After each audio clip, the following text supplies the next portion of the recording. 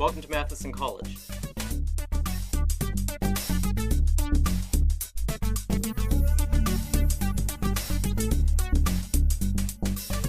I'm Jamie Fish.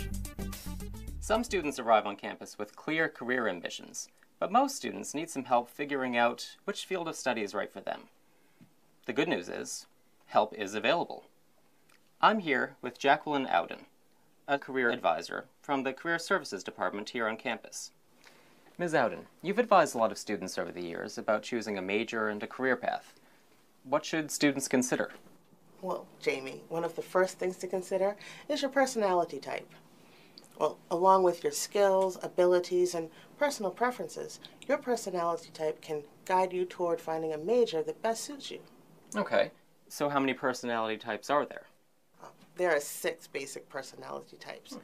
artistic, conventional, enterprising, investigative, realistic, and social.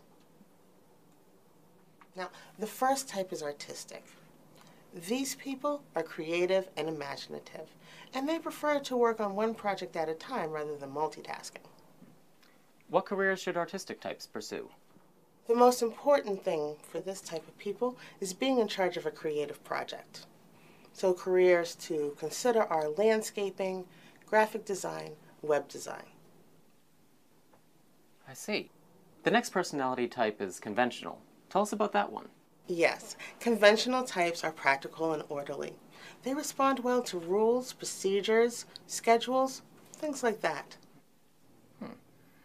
What types of careers do conventional type people usually enjoy? Conventional types often enjoy numbers, and they're also good with measuring and analyzing things in general.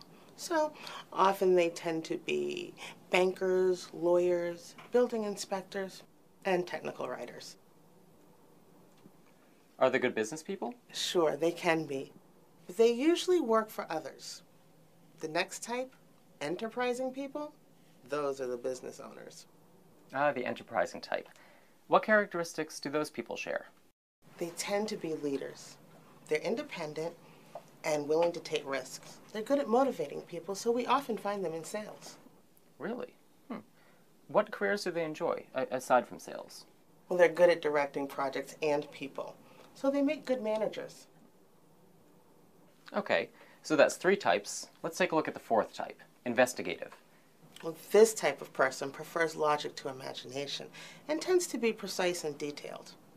So, Jamie, what are some careers that you think would suit this type of person? Hmm. Science would probably be appealing. You're right. Uncovering mysteries is key to any type of science, but librarians are also the investigative type. Really, any career that involves research fits into this category.